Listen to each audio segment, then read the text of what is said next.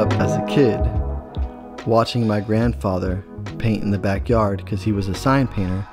He was uh, the sign painter for the city, and he was creating the signs for the southernmost point where the buoy is today. And uh, he used to make signs for the city that were four by eight, and they were getting upset because they had to pay him multiple times a year because every time the spring breakers would come, they would steal the sign.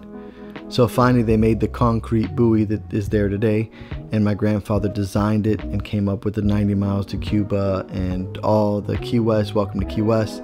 And so, being inspired by watching him paint uh, artwork and do lettering, I was able to sit there with my crayons and my coloring books and surrounded by artwork, surrounded by artists, I just gravitated towards it naturally.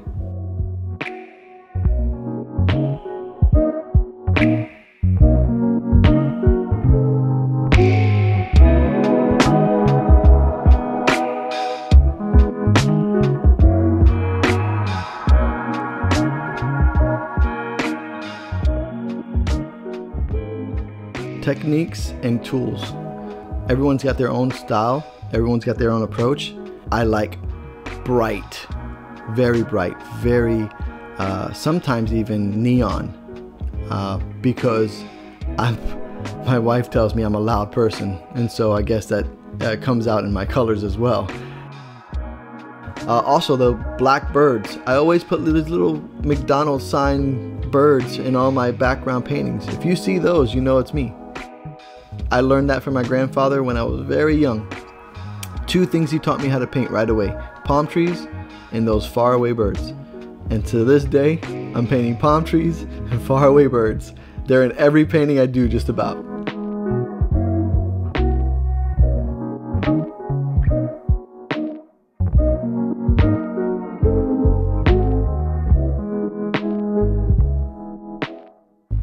I like to add canvases onto canvases. Uh, sometimes it's three canvases on one canvas, glued, dried, primed, and then painted. So now you've got a painting, but you also have it coming out at you certain places. Um, sometimes I'll find some thrown away sheet metal or roof aluminum metal, and I'll drill it onto a piece of wood and and then prime the whole thing and then paint that, or not prime the whole thing and let the wood come out on it. I'm always looking for something to create something new.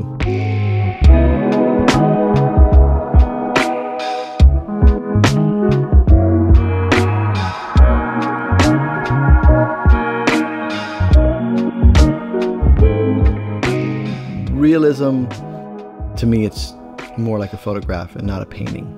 If you want something real, go take a picture. That's my motto.